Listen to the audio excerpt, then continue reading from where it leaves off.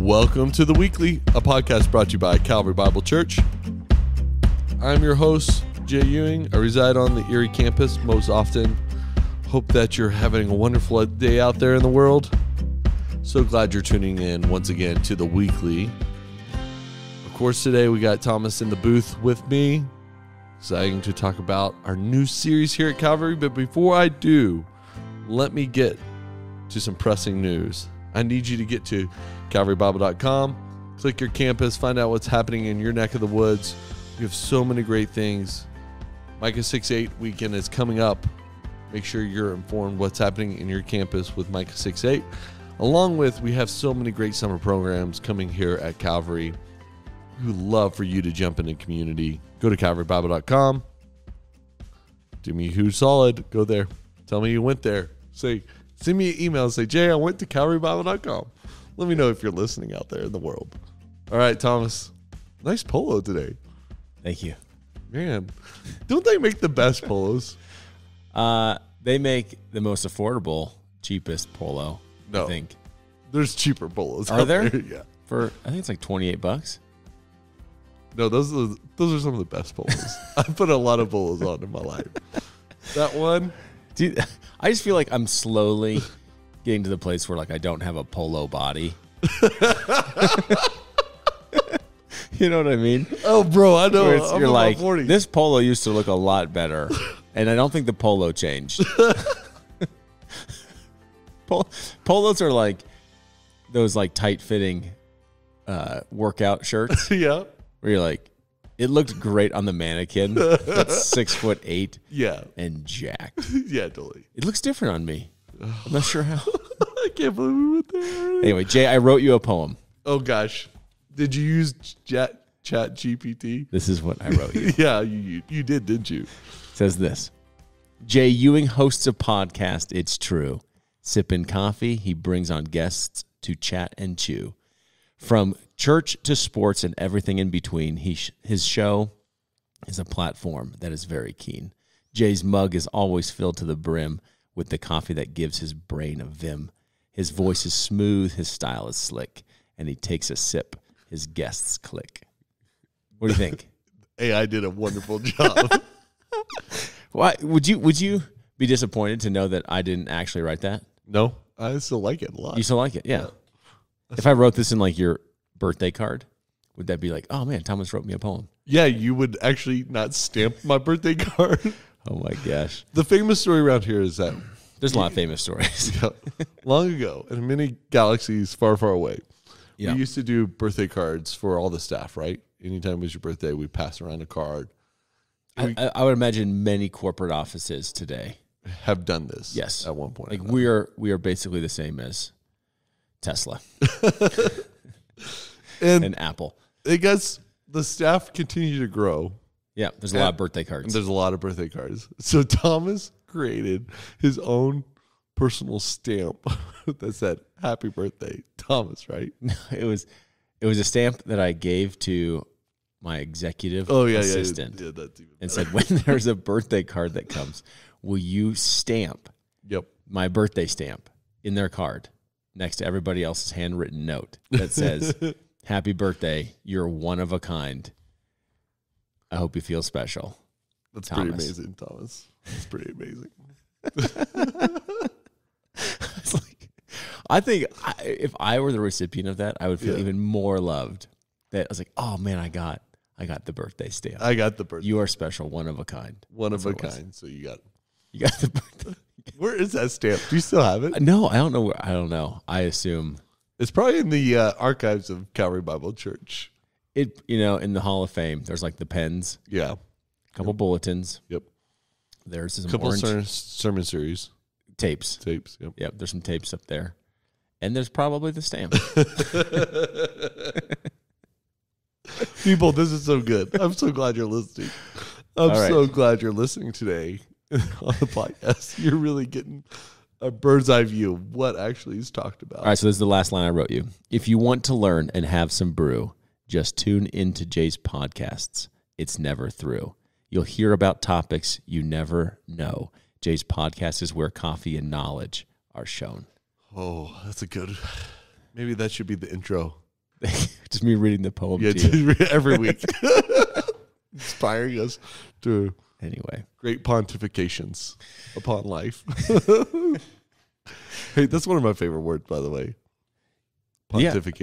Pontificating. pontification, Yeah. pontificating. Yeah, I love that word. Do you? Yeah, I just I'm gonna try to use it today.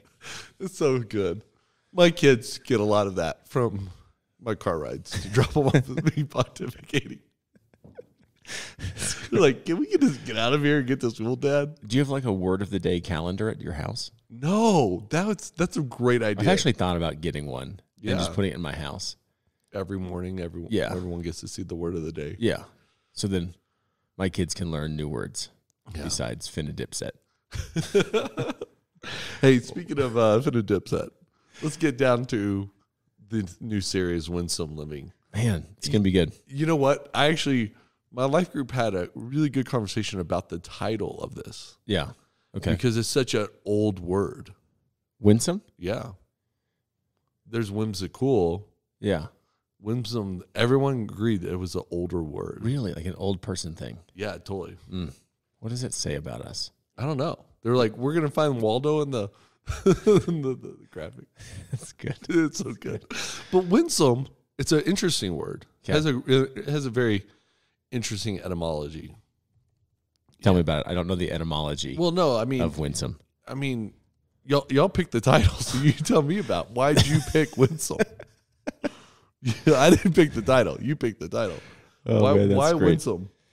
Um, well, as I understand the word to mean attractive, charming, pleasant in character, appearance. Like there's something about it that's appealing. Yeah. So the winsome part of Daniel is, is kind of like it, it should catch you off guard because it you shouldn't think winsome and Daniel in the same thought immediately. That's I think. That's why we were talking about it because Okay. it's, it's so unusual Yeah. for Daniel to be called winsome. Yeah, I bet you most people's series on Daniel are like core convictions, Exile. courage, yeah. uh, the furnace, you Yeah, know, Totally. faithfulness, infer- or, you know, inferno. Yeah. Totally. Um, which you know, those are those are- Aliens and strangers. Alien invasion. You that's, that's the playoff of Exile. yeah, totally. Yeah. That which I did hear a pastor. He said, you know, some people ask me, do I think there are aliens? And I said, well, the Bible talks about them. I was like, oh, that's a Bible joke. It's a good Bible nice, joke. solid. They're like, they're like, Google, where's aliens in the Bible? It's like you are an alien, oh. an exile of the world. Well, like when some Okay, so- okay, old English word. It's an old English word. Okay. What did Google just say? Yeah, and is joy of some, joysome. Joysome. Yeah, Okay. that's where that's like where I was like, and you can you can break it down to win some. You know, like you win some That- over, and that's where it Yeah, that's part of the cleverness of Yeah. it. Is Daniel lived in such a way that I actually think was clever, in some ways charming and attractive. He's pleasant, or his friends are pleasant in their protest for many things. Mm-hmm. Like we're gonna get into chapter three with the fiery furnace, and these guys are like, I mean, at least it comes off the text as like so polite, like Yeah. annoyingly a polite yeah. response of like, oh no, we, yeah, no, we can't do that. We, we, we no, we won't be able to bow down today. Sorry. You know, I mean, it's Yeah. it's almost embarrassing. It's like Mister Rogers is trying to. You might want to kill him anyway. Yeah, yeah, yeah. 'cause you're like you're, just, annoying, now. Yeah, your cardigan's annoying. It could be, uh, but I actually think there are several instances, and we saw the first one in this week, where because of Daniel's response, somebody's heart is softened towards Daniel, and we're going to actually see a king who changes his heart towards God.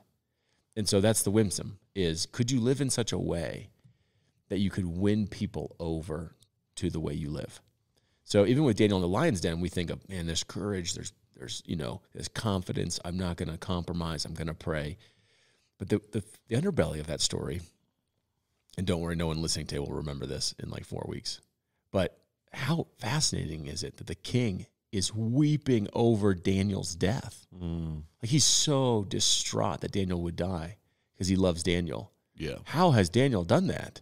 Uh, Daniel just showed up as a slave exile from a conquered city and has now gotten to a place where the king is not eating or sleeping because his friend could be put to death, and he's the cause of it. Yep. You're like, whoa, that that the Nebuchadnezzar we met in the first scene is just like he woke up in a bad mood and people died. You know, like heads be rolling yeah. because he's he's on he's waking up on the wrong side of the bed, and Daniel has lived in such a way. And I just like, okay, how did he do that? And to me, the word whim, winsome Yep. kind of encompasses that. It's really good. Probably not perfectly. I'm sure someone will help me understand why I was wrong. No, no, I think that's I think it's a wonderful title for it, and I, I think when you name something that doesn't fit our typical expression, it actually has us to pause and say, "Okay, have I missed the point of Daniel?" And to your point, to your credit, to the preaching cohort credit, like I think you're really you're nailing the the head of the nail. Like it really is. Like Daniel is different in Yeah. his world. The Chaldeans are really interesting people. Weird people. Yeah, they didn't exist for very long. Well, yeah, Well, there's still enclaves of them. yeah. There's here's the thing I don't really understand totally. Just full disclosure, I don't understand how all of the West Semitic pre-Israelite cultures mm-hmm. kind of ebbed and flowed through Babylon, through the Canaanites, through the Chaldeans, like where it really all begins and where it ends, you know, mm-hmm. because they're intertwined and they have root beginnings. Right. Yeah, and it takes you probably good Bible reading to understand that through First and Second Samuel, First and Second Kings, Joshua. Well, I wonder if it begins even before the formation of Israel. Yeah, really. totally. Not do I think? I know it does. with It's like- Abraham and his friends. Right, as they just address God as El. Yeah. Right, like he's he's El Shaddai. He's God, mm-hmm. and then God becomes known as Yahweh with Moses. Mm-hmm. But many of the West Semitic cultures know him as El, El Shaddai, Yeah, without the Abrahamic covenant. You know. totally. So anyway, that kind of gets us off somewhere else. But Yeah, yeah. So the Bab- Chaldeans, Yeah. which you call the Chaldeans, did I say Chaldeans? Yeah. Chaldeans. Chaldeans. Nebuchadnezzar. Nebuchadnezzar. Um, I don't know. with Nebuchadnezzar, we got um, these three guys, Daniel and his friends, right? So four, guys or which, guys, which yeah. Da- three guys and Daniel. Okay, yeah, It- we learn their names in the f- first chapter, correct. but it's super interesting that throughout the text, it seems like Daniel keeps his Daniel name and they keep their Babylonian name. Mm. Did you see that in some ways? Well, Daniel's the storyteller. Yeah, that's right. Yeah, so he gets to put his name where he would, would like it, but he's not. He's not addressed by Daniel in his official role. Mm-hmm. Belshazzar, Balthazar. is Yeah. how you say it? Yeah. There's a website that says how to say Bible names. Yeah, it's super helpful. Or you can listen to ESV I. Bible Yeah. Reader in the British version of it. Mm. But look, we have the three names. I've, I, the three names outside of Daniel, who you made a point of telling us why their why they their names change. Why do why do their names change? Well, they're. I mean, in part, it's because you're. They're trying to indoctrinate a young group of people mm-hmm. to give allegiance to Babylon and their gods. So Daniel and his friends' names are all correlated to the allegiance of God, right? So Daniel's name, God is judge, becomes Belshazzar, which is Bel, protects his life. Bel's prince. So that allegiance shift from God Yahweh to Bel, who's the god of Babylon, or the sun god, or sorry, the moon god, um, Aku, or whatever it is for Shadrach. And so you're just switching allegiances. That someone I can't remember who it was. Tom and John both mentioned it in their messages. It would be like your name being changed from, you know, Jesus is Lord to Satan is is Lord, and you're like, well, that that now says something totally different about you, and Yeah. says something of like what we want your orientation to be. So really, I mean, they're you think about this when we talked about it on Sunday, but like this is pretty wild that they get new names, they get new dress, so they're, they're just going to change their their style. They're going to get a new job working for the Babylonian government. They're getting new housing, and they're they're be, most likely becoming eunuchs. Mhm. Doesn't say that that they became eunuchs, but they were under the chief eunuch, Yeah. and probably anyone who's going to serve in the king's court is going to be become a eunuch. which is, you know, genital castration. Yeah. So they're going to remove his gender. Yeah. You know, and you just kind of list some of these things. And they're going to go to this state sponsored education to read all the books of the Chaldeans Yeah. or other known as the Chaldeans. Yeah. So you're like, okay, so they the youth come and they get put into state sponsored education Yeah. to read the books of evil, wicked witchcraft and demonic things of child sacrifice. They're going to get new names, new dress, remove their gender. And people are like, how does the Bible relate today? And they're yawning in church. Yeah. Like, uh, You're like, is this relevant? This book was written a long time ago. You're like, I don't know. I, I think I just saw a newspaper article. totally. And so the question is, how do you remain faithful? Like that's the whole story of, da- of Yeah. Daniel, right? Is he actually doesn't take any of those attributes for whatever reason and protest them as though those defiled him. I think they were defiling, but it didn't defile him before God, which is remarkable because this one protest that he does have around food from the king's table, which I think is an allegiance thing. Um, he says, "No, I won't ingest that." And you say, "Okay, there's something here we need to learn about Daniel, where we can say, not every battle's worth fighting. Mm. You don't have, right? Not worth, but not every battle has to be fought right. in order to remain faithful to God. But some battles are worth fighting to remain faithful to God. Do you know the difference? Mm. Are you even are you even aware of that? And then to say, okay, I'm gonna I'm gonna have strong convictions when I recognize that this will compromise my faithfulness to God. Yeah. It's a beautiful story. I love it because it causes us all to put on our critical thinking hats. Yeah. And that's I think most people that I talked to on Sunday were, were the most disturbing piece for them was so where's the line then? Yeah. That's the question you're going to ask. right? So where what what is the thing? Just tell me the thing. And I feel like Christians have done Christian leaders have done a disservice to Christians in general because they have kept them from thinking through that for themselves. Oh, no doubt. And so, it's just like, well, here's here's I made a list. These books are Christian books. These books are non-Christian books. This is Christian music. Exactly. This is non Christian music. You can watch these shows and not these shows. You can subscribe to these streaming services, but not those streaming services. These brands, not those brands. And they've been doing it for hundreds of years. Sure. And so I mean, the it's like- Catholics have been banning movies, James Bond movies for a long here's time. I'm all down for like canceling and banning stuff in my house. right. You should. You should have some There's some garbage, some- man. Yeah, there is some garbage in the world. And there's some garbage that like has a Christian stamp on it Yeah. that I'm like, I don't want anything to do with. But I told people to their disappointment, well, the one thing we can know for sure is don't eat the food from the king's table. That's not helpful. That's not helpful. I'm like, I know.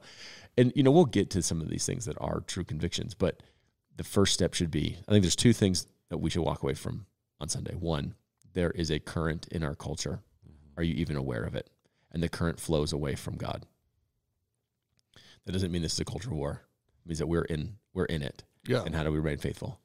And here's the thing the people of God have always been in it. They've always been in it. That's our priest That's is like it's not, not new. It's not new, people. like Christianity worldwide today and Mm-hmm. historically has been a minority group in a dominant culture that does not love the things of God. Since the beginning of it. Right. And so you're like, okay, so this is not something new, but I think we've lost sight of how to do it um, and do it well. So, yeah, I, I don't know. I, I'm really excited for the series because I think what it's going to do more than anything is challenge every person that shows up to think. Mm-hmm. Yeah, totally. So make sure you get grab a cup of coffee before you get into Yeah. church. And I mean, if, if you're listening to this and you're going to be coming to one of the campuses on Sunday, I would read chapter two. It's the longest chapter in the Bible. It is such a good story. Mm. It's such a good story. Just read through it, get that in your mind and your heart, and be ready to unpack a couple principles. Yeah. I think the point of chapter one, we talked about this yesterday, I think it comes down to discernment. We see that Daniel discerns something that is contrary to God, Yeah. and that is what he steps into. Okay, so what what has God given the the Christian for discernment? Well, he's given the scriptures. Yep. So that's another. I mean, if the weekly could be summed up into all the episodes, we've done 105 now. 105 episodes. Really? Yeah. If we could sum up 105 episodes, I bet 94 of them probably have been said somewhere said read your Bible. you know what I mean? Like Yeah. that's just the beginning. and the end, and the middle of life, is read your Bible, know your Bible, love your Bible. It helps discern. Like it helps what, discern. Is that is that of God or is that not of God? right. My kids asked. It's funny conversation we've had before, obviously, but my kids this week we were praying and they said, "How do you how do you know the voice of God?" I said, "Well, you have to know His Word, and then you'll know which are His which is His voice and what's not." And they were kind of like, "How does that help?" I said, "Let me tell you something. When we go to one of your sporting events this weekend, and I yell out your name, or your coach yells out your name, or one of the other moms yells out your name, how do you know it's me? Like, well, I know your voice. I'm like, yeah. So we can all be like, hustle. But you know when I say hustle because you know my voice. Even though we use the same exact words, like your coach could yell hustle mm-hmm. and I can yell, yell hustle, but you know it's me. Mm-hmm. That's what the word of God does, Yeah, that's right. which informs the spirit of God, right? So the spirit of God is what to remind us. Yeah. So the next one is the Spirit of God. Yeah. And that's where the indwelling the Spirit for all believers, if you've confessed that Jesus is Lord, you have the Spirit. Yeah. And the Spirit is there to help you discern how to recognize God's voice, how to live into God's voice, and how to trust God's voice. Yeah. Yeah. Which is the Bible. you know what I mean? And then And, live then the, yeah, and then then you have I think the third one is the community, Mm-hmm. the Yep. Christian community, a trusted Christian community. This is not a YouTube, your favorite YouTube channel. Right. It's not a favorite podcast. This is the local expression of Christian community Yeah. that is gospel centered. You're able to say, hey, this is what's going on at work. Yeah. This is the challenge I'm up against. Right. Is this one of those battles? And a Christian community can say, you know, I don't, I don't think it is. No. Or you know what? That's that's probably where you probably need to take a, a harder stance, and I've done that. Mm-hmm. You know, Yeah. I think th- those are three good things. And the fourth one I would say would you- is internal community that actually really knows you. Believers that really know you. They know your deepest, darkest failures, your sins, your struggles. They know how often you read your Bible. They know how often you pray out loud. They know you to help you discern. So there's four there. I, you know, let me highlight. Would you would you also say just the human conscience? yeah, Like God gave us a every human has a conscience. It's Oh. like the worst thing you can do is sin against your conscience. Totally. No doubt. No doubt. That is the common grace of Yeah. God for sure. And in fact, you know, I'll, I'll say this there is no way I made the choices I made in high school and stayed away from the things because I wasn't a believer at the time outside of God's just kindness for common Mm-hmm. grace in my life that just knew I sniffed it out, even though I didn't know God. Does that make sense? Yeah. Yeah, totally. So one thing I would I would share with people is not only are those four or five, whatever we want to call them, um, ways to discern God's desires, God's ways, um, discern when you're in the current and when it's time to stand up. But they're also the same ways that give you the encouragement and strength Oh, to do it. totally. And you just think, gosh, the amount of mental anguish that Daniel must be in to to do this, the, even especially the first time, like I'm going to go stand up against what seems to be like this entire empire against me for the faithfulness of God. That courage, that strength, that mental fortitude, the encouragement and comfort has to come from somewhere too, yeah. And that those com- that comes from those same things. Is God? What's God's promises that you're standing on? The the Spirit, like He's the counselor of God, mm-hmm. right? Then you think of the community that stands with you, just the general community, then the specific community. I think that is where we have to have to understand. Like this is it's not easy. This is actually not easy, Yeah. and you can't do it alone. And Daniel had all those Yeah. within his community. So anyone who looks at it and goes, "Man, this seems so daunting," I would ask you, like, okay, where are you in God's Word? Where are you listening to the Spirit of God? Mm-hmm. Where are you in Christian community? And who is supporting and standing with you? Mm-hmm. And if you don't have those things, and you just feel like a, a, a bit frazzled right now and vulnerable, put some of those pieces in place. Yep. And you know, find a local church, be involved in it, make that local church as small as possible. Mm-hmm. People know you, because it's not going to be easy Yeah. and faithfulness really matters. Faithfulness really matters. But this week we're going to look at chapter 2 with this in mind is this is really challenging. And you need to have hope that what you're doing is done for the right reason. And so where does that hope come from? Like what is the object of hope that will get you through this? And we're going to unpack that on Sunday. And you just you dumped some awesome Bible trivia. What's one of the what's the longest chapter in the Bible? You in, said it in the Bible. yeah. I said it was uh, in Daniel, and as long as chapter in Daniel. Yeah. Chapter two. chapter two. That's so cool. It's a long one. That's a very long one. I just love how how how long ago was Daniel written? So the the final exile is 586 when he, when everyone's taken. So somewhere between 586 and 540 30s if you take a traditional view of BC before Christ. yes. That is a long time ago that we are peering into a man's story. And it's so relevant to today. it's amazing. I love God's scriptures for that. Absolutely. All right, Calvary, we're so thankful that you're listening always to the weekly. Thomas, thanks for this solid time this morning. Talk about Daniel 1. Super thankful for you. Thankful for Tom and John and Zach and Perry and all the great pastors that preach here at Calvary. Guys are just so cool. I can't believe you get to do what you get to do. Also, read chapter 2 of Daniel this week. Find some time. Read it and i would encourage you to listen to it. Read it once listen to it once and get ready for a great another week here at calvary. Like always go to calvarybible.com let us know what's going on in your life. We would love to pray for you. You can always fi- fill out a prayer request at calvarybible.com and above and beyond have a great week